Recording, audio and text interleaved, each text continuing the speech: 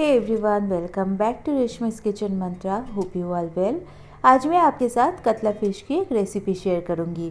ये recipe waste Bengal में बहुत ही ज़्यादा फ़ेमस है और ये खाने में भी बहुत टेस्टी है। तो आज मैं आप लोगों के साथ शेयर करूँगी कतला कलिया रेसिपी गर्मा गर्म स्टीम्ड राइस के साथ कतला फ़िश की ये रेसिपी यानी कि कतला कलिया बहुत ही ज़्यादा टेस्टी लगता है। और आप भी इसे घर में बहुत इजीली बना सकते हैं। तो चलिए देख लेते हैं मैं कैसे बनाती हूँ इस रेसिपी को। इस रेसिपी को बनाने के लिए मैं लास्ट में भी कुछ इंग्रेडिएंट्स ऐड करूँगी जो इसके फ्लेवर को और भी एनहेंस करेगा। तो वीडियो को लास्ट तक देखिएगा। अगर आप मेरे चैनल पे आज फ़र्स्ट टाइम विज़िट कर रहे हैं तो चैनल को सब्सक्राइब कर लीजिए और बेल बटन प्रेस कर लीजिए नए रेसिपी के अपडेट के लिए। कतला कलिया की इस रेसिपी को बनाने के लिए मैंने चार पीस कतला माछ यानी कि कतला फ़िश के चार पीस ले लिया है। अब मैं इसमें ऐड कर दूँगी थोड़ा सा टर्मरिक पाउडर तो मैंने यहाँ पे half teaspoon turmeric powder लिया है और मैं इसमें ऐड कर रही हूँ हाफ़ टी स्पून सॉल्ट अब टर्मरिक और सॉल्ट से मैं फ़िश को अच्छे से कोट कर लूँगी. कतला कलिया बनाने के लिए आप कतला फ़िश की पेट, यानी कि जिसको पेटी बोलते हैं, उसको भी यूज़ कर सकते हैं, या तो फिर रोहू फ़िश का भी यहाँ पे इस्तेमाल आप कर सकते हैं. सॉल्ट और टर्मरिक से फ़िश को कोट करने के बाद मैं यहाँ पे half tablespoon mustard oil ले लूँगी और इसको भी फ़िश के ऊपर थोड़ा सा स्प्रेड कर दूँगी। अब 10 मिनट में इसे मैरिनेट होने के लिए छोड़ दूँगी। तब तक मैं यहाँ पे मसाला रेडी कर लूँगी। तो उसके लिए मैंने यहाँ पे एक मिक्सिंग जार ले लिया है। अब मैं उसमें ऐड कर रही हूँ एक प्याज। तो मैंने यहाँ पे एक मीडियम साइज़ की प्याज ले लिया है। और मैं इसमें ऐड कर दूँगी चार लहसुन की कलिया। और मैं इसमें ऐड कर रही हूँ पाँच हरी मिर्ची। आप आपके टेस्ट के हिसाब से ऐड कीजिएगा। और उसके साथ मैं यहाँ पे ऐड कर दूँगी एक छोटा साइज़ की टोमेटो को। और इसी के साथ ही मैं इसमें थोड़ा सा ड्राई स्पाइसेस ऐड कर दूँगी। तो मैं यहाँ पे ऐड कर रही हूँ half teaspoon turmeric powder one teaspoon मैं यहाँ पे डाल रही हूँ क्यूमिन पाउडर यानी कि जीरा। और हाफ़ टी स्पून मैं यहाँ पे डाल रही हूँ धनिया पाउडर यानी कि कोरिएंडर पाउडर और मैं वन टीस्पून डाल रही हूँ रेड चिली पाउडर अब इन सारी चीज़ों को मैं अच्छे से एक बार मिक्स करके ब्लेंड कर लूँगी। तो देखिए, मैंने यहाँ पे मसाले को अच्छे से ब्लेंड करके एक फाइन पेस्ट बना लिया है। और मैंने यहाँ पे पाँच काजू और थोड़ा सा किशमिश गला लिया है, इसको भी मैं पेस्ट कर लूँगी।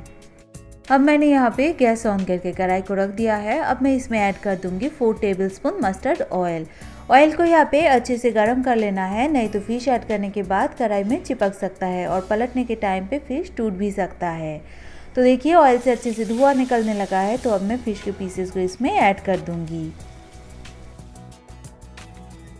लाइट गोल्डन करके मैं फ़िश को यहाँ पे फ्राई कर लूँगी। आप आपके पसंद के हिसाब से फ़िश को फ्राई कर लीजिएगा।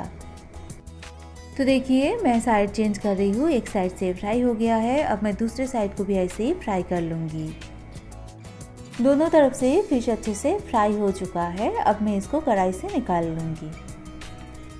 फ़िश को बहुत ज़्यादा डार्क करके फ्राई करने से फ़िश हार्ड हो जाता है। तो देखिए, मैंने यहाँ पे फ़िश को लाइट गोल्डन कलर करके फ्राई किया है। फ़िश को ड्रेन आउट करने के बाद मैं इसे सेम ऑयल में ऐड करूँगी। दो तेज पत्ता दो मैं यहाँ पे ऐड कर दूँगी इलायची और मैं ऐड कर दूँगी दो टुकड़ा दालचीनी। अब मैं इसमें ऐड कर दूँगी ब्लेंड किया हुआ मसाले को। तेल में मैंने मसाले को ऐड कर दिया है। और उसी के साथ मैंने गैस के फ्लेम को लो मीडियम में कर दिया है। अब इसी लो मीडियम फ्लेम में मैं मसाले को पाँच मिनट के लिए फ्राई करूँगी। लो मीडियम फ्लेम में मसाले को पाँच मिनट फ्राई करने के बाद अब मैं इसमें ऐड करूँगी काजू किशमिश के पेस्ट को।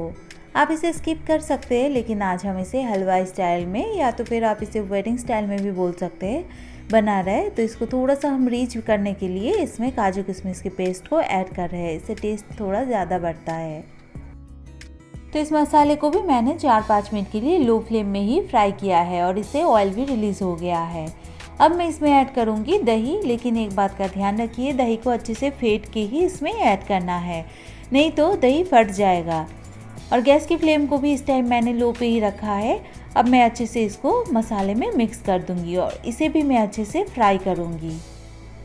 दही को भी मैंने अच्छे से मिक्स कर दिया है। अब मैं इसमें ऐड कर दूँगी सॉल्ट तो मैं यहाँ पे वन टीस्पून सॉल्ट ऐड कर रही हूँ। आप आपकी टेस्ट के हिसाब से ऐड कर लीजिएगा। सॉल्ट को अच्छे से मिक्स कर दूँगी और अब मैं इसमें ऐड कर दूँगी थोड़ा सा शुगर ये एकदम ऑप्शनल है, लेकिन टेस्ट को थोड़ा सा बैलेंस करने के लिए मैं यहाँ पे थोड़ा सा हाफ़ टी स्पून मैं यहाँ पे शुगर ऐड कर रही हूँ। सब कुछ मिक्स करने के बाद देखिए यहाँ पे मसाला अच्छे से फ्राई हो चुका है, इसमें से पूरा ऑयल रिलीज़ हो चुका है और इसका कलर भी आप देख सकते हैं कितना अच्छा आया है। और अब मैं इसमें ऐड कर दूँगी गर्म पानी। इस रेसिपी में ग्रेवी थोड़ा सा थिक बनता है तो इसलिए मैं यहाँ पे एक कप ही गर्म पानी डाल रही हूँ। आपको अगर थोड़ा सा ज़्यादा ग्रेवी चाहिए तो आप थोड़ा सा पानी और ऐड कर सकते हैं। अब मैं इसे कवर कर दूँगी और दो मिनट के लिए इस ग्रेवी को कुक करूँगी। तो यहाँ पे मैंने दो मिनट लो फ्लेम में ही इस ग्रेवी को भी कुक कर लिया है। तो देखिए ग्रेवी अच्छे से कुक हो गया है। अब मैं इसमें फ्राई किया हुआ फ़िश के पीसेस को ऐड कर दूँगी। इस रेसिपी में लो मीडियम फ्लेम में हम मसाले को जितना अच्छे से कुक करेंगे ग्रेवी उतना ही टेस्टी बनेगा। तो अब मैं इसे अच्छे से एक बार मिक्स कर दूँगी और मैं इसे पाँच मिनट के लिए फिर से लो फ्लेम में कवर करके कुक करूँगी। तो यहाँ पे पाँच मिनट हो चुका है। तो आप देखिए, यहाँ पे ग्रेवी भी काफ़ी थिक हो चुका है और आप देख सकते हैं ग्रेवी का कलर भी कितना लाजवाब आया है। अब मैं इसमें ऐड कर दूँगी थोड़ा सा गरम मसाला पाउडर तो मैं यहाँ पे हाफ़ टी स्पून गर्म मसाला ऐड कर रही हूँ और उसी के साथ में इसमें ऐड कर दूँगी हाफ़ टी स्पून घी। और इसे मैं अच्छे से एक बार मिक्स कर दूँगी। सब कुछ यहाँ पे अच्छे से मिक्स हो गया है और यहाँ पे हमारा कतला कलिया भी बन के रेडी है। अब मैं गैस को टर्न ऑफ़ कर दूँगी और दो मिनट के लिए इसे कवर करके स्टैंडिंग टाइम में छोड़ दूँगी। थोड़ी देर बाद आप देखिए यहाँ पे कतला कलिया एकदम सर्व करने के लिए रेडी है। तो अगर आपको ये रेसिपी अच्छा लगा तो आप इसे आपके घर में ज़रूर ट्राई करें। और रेसिपी अच्छा लगा हो तो लाइक और शेयर करना भी ना भूलें। तो चलिए मिलते फिर कोई नए रेसिपी के साथ।